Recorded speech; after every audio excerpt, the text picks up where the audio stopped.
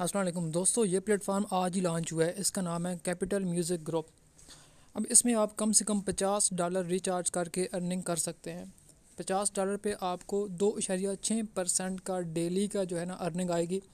इसमें आपको ticket bye करने होते हैं। जैसे जावा ई में आप टिकट बाय करते थे, उसी तरह आपने इसमें भी टिकट बाय करने होंगे। इसमें म्यूज़िक के टिकट होते हैं, वो बाय करने होते हैं। अब इसमें मैंने रिचार्ज किया है। फिफ्टी डॉलर का। फिफ्टी डॉलर का जब आप रिचार्ज करेंगे तो आपको कंपनी से बीस वाउचर मिलेंगे।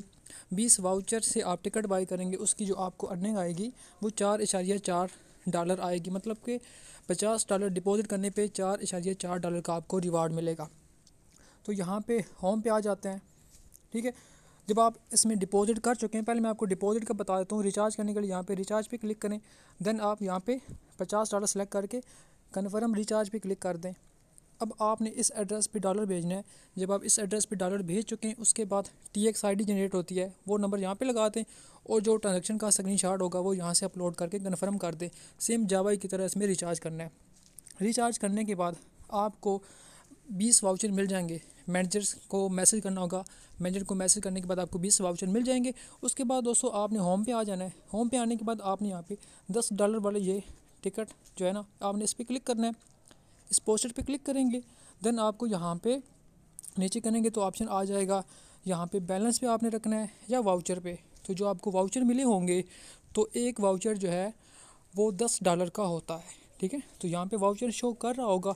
तो आपने वाउचर पे क्लिक करके यहाँ पे बीस टिकट करने हैं कन्फर्म परचेज़ कर देना है वाउचर से टिकट बाय हो जाएँगे। उसके बाद आपने बैलेंस पे करना है।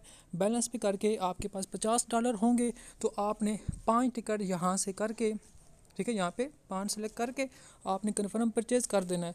तीन से चार घंटे के बाद आपको आपका प्रॉफिट जो है वो मिल जाएगा। तो अभी नई एप्लीकेशन है, ज़बरदस्त तरीके से इन वर्क करेगी और लंबा अरसा चलेगी। अभी इसकी एप्लीकेशन नहीं आई, अभी ये सिर्फ़ वेब है। मतलब कि आप सिर्फ़ ब्राउज़र पे ओपन करेंगे तो कुछ ही दिनों में इसकी एप्लीकेशन भी आ जाएगी। फिर हम एप्लीकेशन पे वर्क स्टार्ट करेंगे। कोई इंटरेस्टेड है तो वो इस पर काम स्टार्ट कर ले। तो जिसको एप्लीकेशन का इंतज़ार करना है तो वो इसके ऐप आने तक इंतज़ार कर ले, कोई इशू नहीं है। लेकिन पचास से आप इसमें काम स्टार्ट कर सकते हैं।